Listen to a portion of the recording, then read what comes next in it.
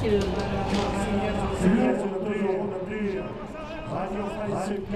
Allez, Sabri Ouais, Sabri Alwani, le plus fort de tous. C'est le plus fort. Actuellement, c'est le plus fort.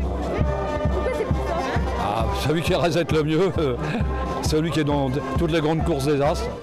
Sabri Alouani rasette et avec succès. Le milieu de Camarguais est plutôt hermétique, l'immersion s'est faite pas à pas. C'est facile de rentrer à ce milieu, euh, c'est facile, oui. Sauf qu'au départ, c'était pas le nôtre. Quand je dis le nôtre, c'est que j'ai des origines. Euh, mes origines euh, sont, mes parents sont algériens. Donc on est arrivé ici. donc quand on commence à gagner un trophée, on sont contents. Mais quand tu commences à gagner 7, 8, 9, 10, après tu déranges. J'ai subi des propos racistes, pas par tout le monde. Euh, sur, euh, sur euh, 100 personnes, euh, il va y avoir deux imbéciles.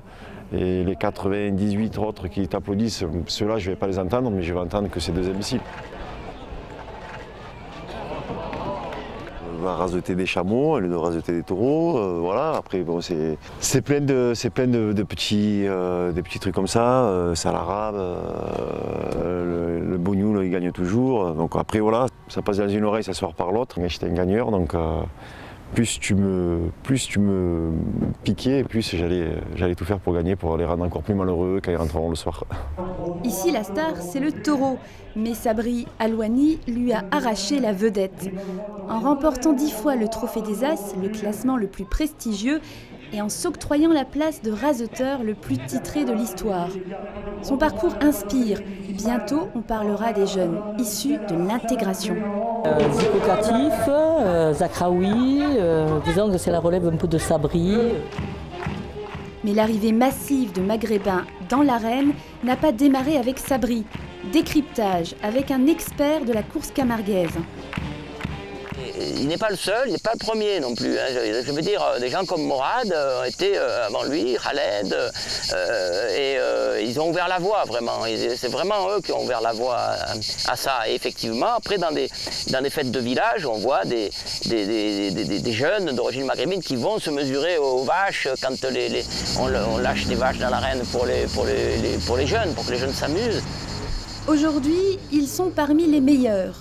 Trois d'entre eux occupent même la tête du classement. certains de raseteurs d'origine maghrébine sont musulmans. Ils ne boivent pas. Donc déjà, ça, dans la bourrine, c'est un facteur de- de- d'exclusion très fort. Si vous ne buvez pas le pastis, c'est quelque chose qui... ça ne va pas. hein.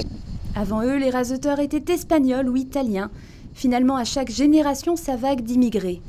Et, ce qu'on peut dire que les, que, les, que les Maghrébins ont apporté à la course camarguaise, c'est précisément un renforcement de la structure du jeu, qui est un jeu où le taureau est le, héros, euh, le héros qui représente le terroir, qui représente le pays, hein, le pays de Bouvines, et face auquel eh bien, viennent des, agents déstabilisateurs euh, euh, viennent, viennent la- l'affronter. Et donc le fait que ce soit des jeunes gens d'origine maghrébine ne fait que renforcer ces structures-là qui étaient des structures préexistantes. Mais ça, ça va très bien en fait avec le, euh, avec le jeu. Et c'est pas un hasard qu'il n'y ait pas eu que qu'un Morad ou qu'un Alouani. Historiquement, le raseteur est perçu comme un voleur. Il dérobe le taureau qui symbolise le propriétaire. Mais pour la grande majorité des Camarguais, il s'agit uniquement d'un sport. Le foot, j'ai arrêté l'année dernière. Euh, je jouais à nationaux à Nîmes, mais j'ai trouvé le choix d'aller au taureau parce que c'est plus intéressant et c'est la Camargue, c'est la passion. C'est l'association entre, entre l'humain et les taureaux. Je trouve qu'il y a quand même une, une chose, quelque chose de fort. Tous les soirs, je me couche en, en regardant des photos de taureaux, euh, en regardant les courses, euh, à comprendre la bête, euh, son déplacement, son comportement. C'est euh, très difficile, mais euh, ça nous, tient, ça nous tient tout à fait à cœur aussi.